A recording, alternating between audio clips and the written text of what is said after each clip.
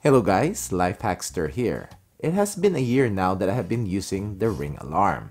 I will link my review a year ago and also my update video in the description down below. I can safely say that it hasn't given me any issues since I installed it. It has worked day in and day out. Batteries on the sensors are also holding up, and all my sensors still shows good battery levels, even my frequently used ones, especially my front and side doors. It is currently green and the battery level should be around 26 to 100% and it will turn yellow if the battery only has 11 to 25% and red if it falls below 10%. Ring states that these CR123A batteries can last up to 3 years. Also, since I installed this system, I only have to charge the keypad one time, actually just about a couple months ago. I normally don't use the keypad though, and most of the time we do the arming and disarming using the app. Now, I have the professional monitoring, which is only $100 a year. And I think it is one, if not the cheapest alarm monitoring that I know of. But if you have ring cameras around your house, the $100 a year also covers the cloud subscription of all your ring cameras so that you can watch and review the recorded footage. So, if you have the Ring ecosystem in your house, then you have the cheapest security subscription. I did have a few comments a while back about people saying that the Ring system is junk, and the best system is with a contract wired alarm company that have monitoring stations all around the nation. Well guys, the truth is, since DIY alarm companies started, like the SimpliSafe and now the Ring Alarm, the traditional alarm companies are hurting, and they are hurting bad. That they will try all the tricks in the book just to convince you that wired alarm system is the best.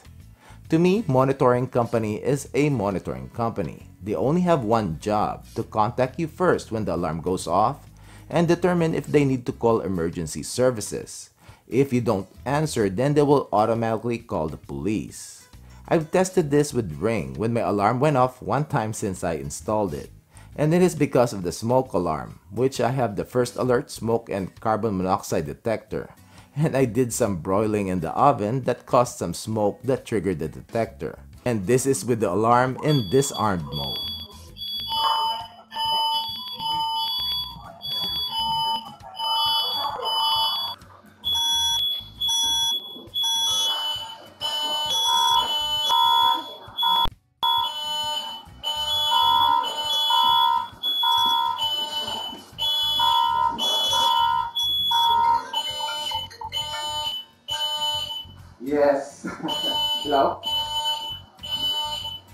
Yes, sir.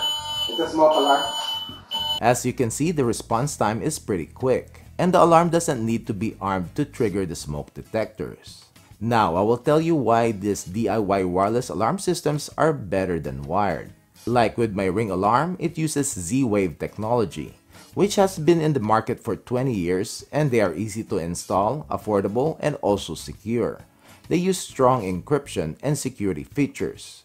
You can also build up your security system and by purchasing sensors and signal extenders, you'll be able to install sensors even outside your home, like in your outdoor shed or barn for example.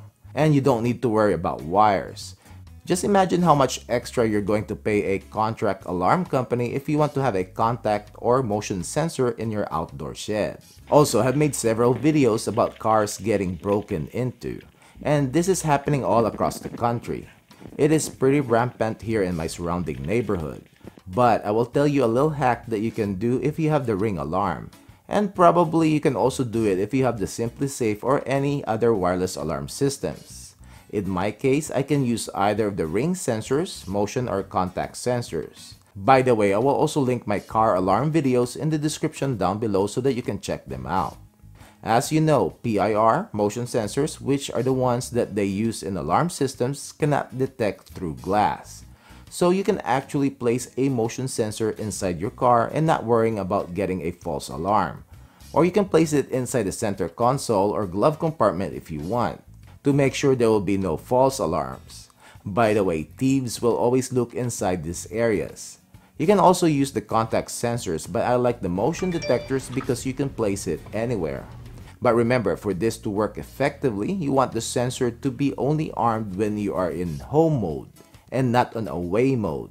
This is to avoid tripping the sensor when you're just getting in your car and you already armed your alarm system. With the ring alarm, just go to your alarm devices, choose the sensor that you'll be placing in your car, click in mode settings, and make sure home mode is checked and not the away mode. So if you park your car, boat, or RV outside in your driveway, you can now protect them too, and will trigger the alarm and the cops will be called if needed.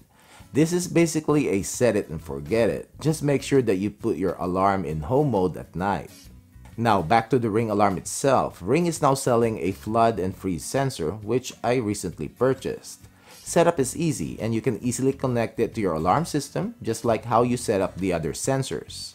I will place this sensor in the washroom just in case my washer gives out on us. This is also a freeze sensor which I'm pretty sure it will not get activated.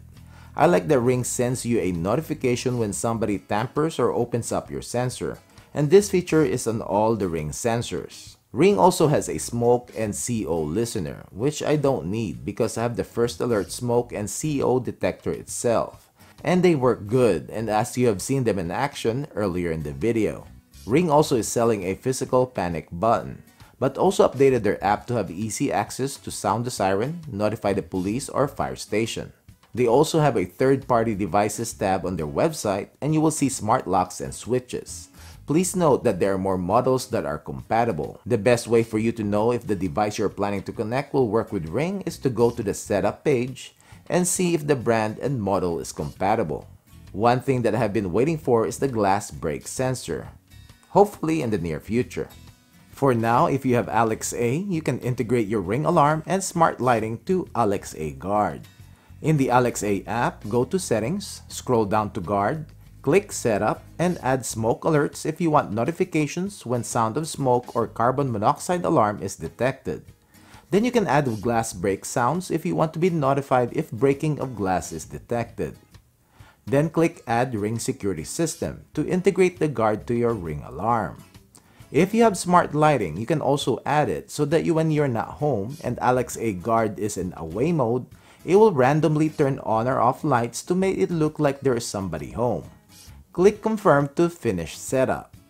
Another cool update that Ring has made is now you can link Ring devices together. As to the alarm, you can link your Ring cameras to start recording when the alarm goes into entry delay or when the alarm is triggered. So you can set your stick-up cam to only record when these events happen, and even when you turn the recording and motion detection and the camera settings to off. Most of us don't want to be recorded when we are at home but want our indoor cameras to record if something happens like when the alarm goes off. By the way, my Ring stick-up cam recorded 3 minutes of footage. Some FAQs about the Ring alarm and this is where a lot of you have asked questions. The Ring alarm mostly operates using your Wi-Fi or can be connected directly to your router to access the internet, which is currently my setup. But if you have professional monitoring, the base station has a cellular backup provided by AT&T, and you will still be protected even if the internet is out. The base station itself has a 24-hour backup battery, and you will also get notified by a push notification when the power is out and also when it kicks back in. You'll be able to arm or disarm the alarm using the keypad, using the app on your phone, and also via computer when you log into your account online. Well, that's it guys and thanks for watching and I hope you liked this video. Don't forget to give it a thumbs up and subscribe to my channel if you haven't done it yet. And click the little bell icon so that you will get notified when I upload long-term reviews like this video, product reviews, comparison videos, and product updates. Thank you.